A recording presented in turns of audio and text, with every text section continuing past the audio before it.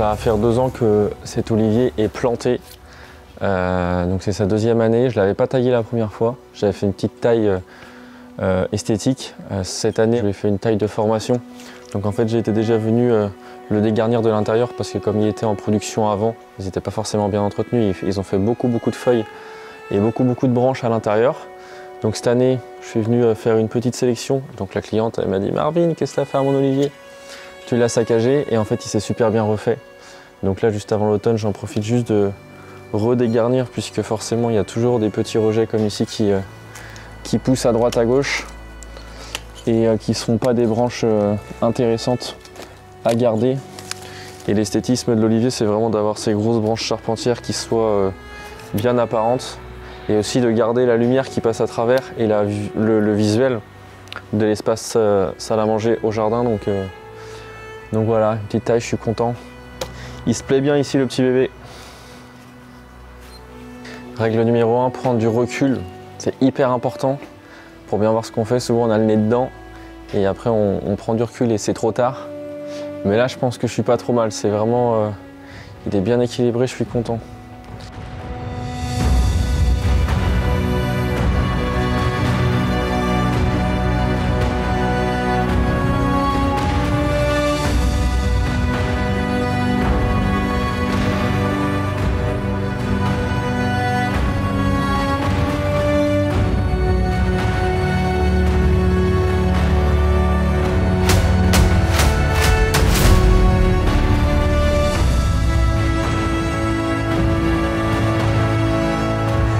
Suis vraiment très fier dans ce jardin, dans ce petit jardin, puisqu'on doit être sur une surface de plus ou moins 150 mètres carrés, euh, c'est d'avoir réussi à construire plein d'espaces différents. On a l'espace derrière moi, l'espace euh, douche un petit peu plus euh, végétal.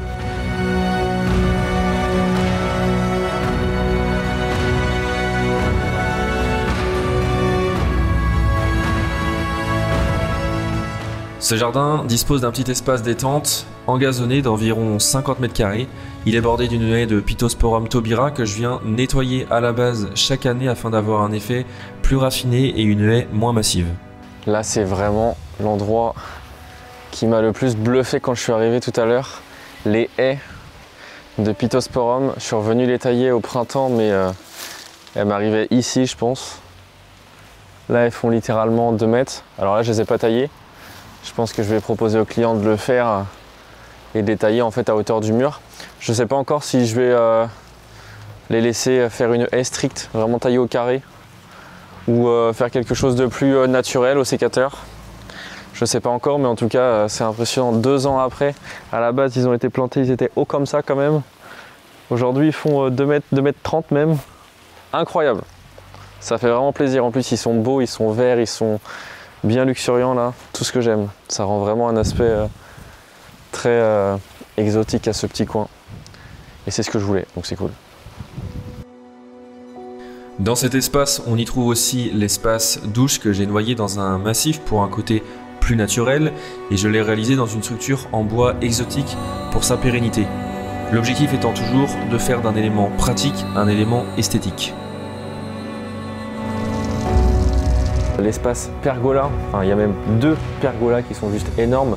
L'espace repas euh, qui est juste là-bas et l'espace salon, celle-ci est fait 7 mètres de long sur 4 euh, mètres de large sans poteau. Ça a été euh, toute une histoire pour, pour l'installer avec une grue. Alors on s'en souvient, le moment le plus périlleux de ce projet a clairement été l'installation des deux énormes pergolas. La structure principale est réalisée en acier et en alu. La hauteur importante de cette structure permet la création d'une pente et la pose de panneaux de verre qui permettent une étanchéité totale sans pour autant faire baisser la luminosité en dessous. Alors malgré les huisseries noires de la maison, j'ai opté pour une couleur de pergola euh, marron, ou plutôt Mars euh, de son vrai nom de peinture, afin de lui donner vraiment cet effet acier rouillé qui se marie vraiment bien avec les matériaux nobles comme la pierre de parement euh, et le travertin que j'ai utilisé pour ce projet. Alors lors de la conception de ce projet, en 2021 avec Studio Atmos, il a fallu d'abord qu'on réfléchisse à intégrer un espace supplémentaire, l'espace repas qui n'existait pas. On n'a donc pas eu le choix d'agrandir une partie de la terrasse qu'on est venu recouvrir entièrement d'un travertin beige de format 60-40 et on a opté pour une pose alignée afin d'avoir un côté plus contemporain qu'une pose en opus comme on aurait plus l'habitude de voir avec ce genre de produit.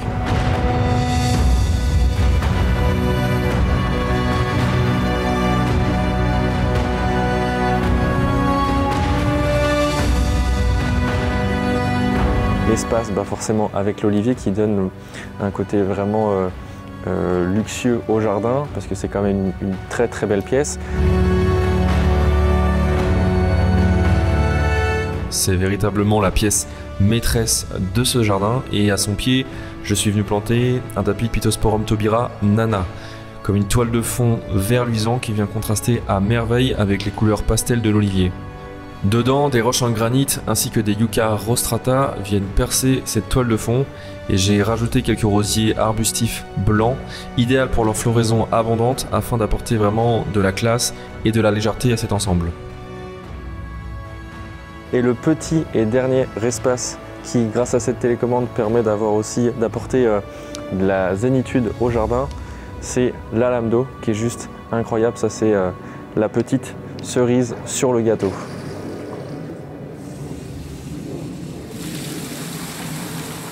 Pour ce projet, je voulais vraiment une œuvre qu'on ne verrait nulle part ailleurs. J'ai donc eu l'idée de construire un véritable mur d'eau de 2,50 m de long à l'arrière de la piscine. Et en plus d'avoir un effet esthétique, l'objectif était vraiment d'aménager cette zone de 70 cm de large, perdue entre le mur euh, de la clôture et la piscine, sans avoir à y faire d'entretien particulier. J'ai donc fait réaliser un débordement dans une cuve en inox sur mesure qu'on est venu intégrer directement dans le mur et directement raccordé à un bassin de récupération d'eau. L'avantage c'est que le tout fonctionne en circuit fermé et que le bruit de la chute d'eau gomme vraiment tous les bruits parasites de la ville et de la route avoisinante. Pour moi ça a été une première et je trouve que ça fait vraiment toute la différence dans ce jardin.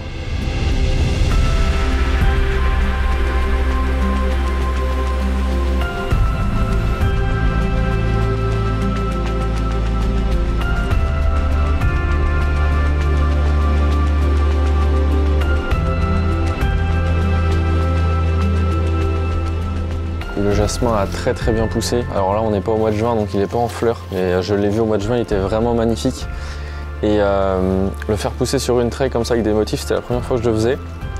Et euh, bah là ça y est, il y a deux ans de recul donc on voit bien bien ce que ça rend. On s'est tâté avec les clients à le laisser finalement coloniser tout le mur puisque bah, ça pousse quand même bien. Là ça, nécessite plus d'entretien de le garder avec cette forme un petit peu en, bah, en losange. Mais moi j'ai conseillé aux clients de le garder d'essayer de le maintenir avec cette forme de losange. C'est moins commun et c'est surtout que ça donne un aspect un petit peu plus classique, plus travaillé. Et avec l'esprit du jardin, c'est quand même plus joli. Mais ils verront bien à l'avenir. En attendant, euh, là, il a bien poussé, il se porte merveilleusement bien. Donc euh, c'est cool, ça fait plaisir.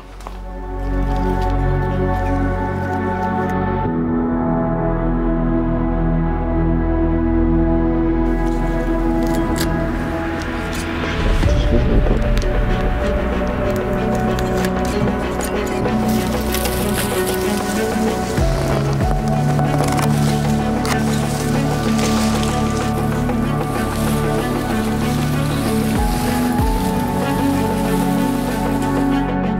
L'allée nous emmène vers l'entrée de la maison et c'était vraiment important pour moi que l'entrée soit à la hauteur du jardin.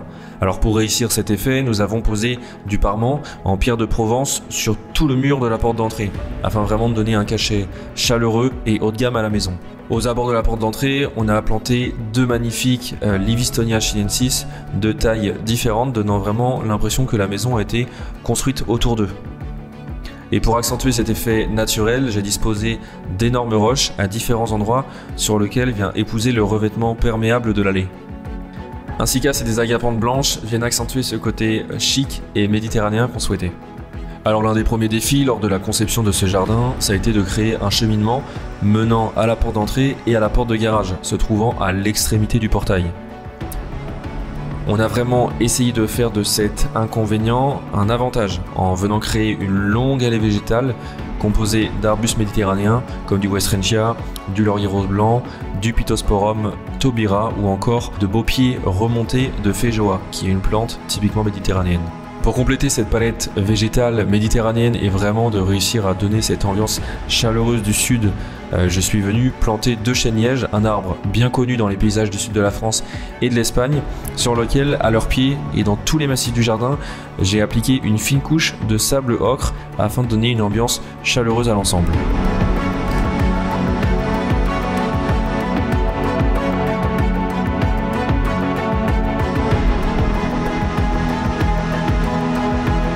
Là, on arrive sur l'avant du projet. Ça a été euh, clairement une des plus grosses difficultés quand on a conçu le projet avec Studio Atmos, avec Amélie, il y a deux ans de ça.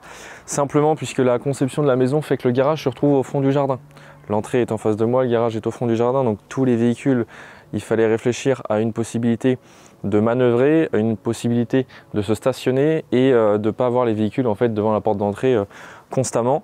Et on a trouvé bah, en fait cet aménagement qui lie aussi bien euh, l'aménagement végétal qui est hyper important puisque là on est entre des murs. Donc forcément je voulais vraiment euh, végétaliser un maximum et surtout pas avoir un revêtement classique, avoir euh, un revêtement qui soit avec des tons naturels comme on peut retrouver en fait sur la façade. Et au même moment bah, j'ai découvert ce revêtement c'est de l'hydroway. Donc le principe il est très simple. C'est un, gravillon en fait qui est vraiment qui est trié pour avoir la, même granulométrie et qui est mélangé à une résine sur 3-4 euh, cm et ça a la résistance du béton donc c'est pas du tout euh, caoutchouteux c'est vraiment euh, dur. On a fait quelques joints de dilatation à différents endroits pour éviter que ça craque et que ça fissure. Mais ça a l'avantage en fait que c'est un matériau qui a une base naturelle c'est du gravier. Donc une couleur naturelle c'est quand même vachement plus chaud vachement plus harmonieux avec le reste de la maison. Et forcément j'étais sceptique quand on l'a mis il y a deux ans et demi quand on des matériaux qu'on ne connaît pas, on ne sait pas forcément comment ça va vieillir dans le temps, si ça va bien vieillir ou pas. Et là, ça va faire deux ans et demi, ça reste très peu, mais ça n'a pas bougé du tout, ça n'a pas fissuré. Et on peut voir, il n'y a quasiment pas, je ne l'ai pas nettoyé, il n'y a pas de traces de pneus, comme on peut voir souvent euh, sur différents euh, euh, revêtements. Donc très très bon choix, je suis vraiment super content du rendu et les clients surtout sont très contents et ça c'est le principal.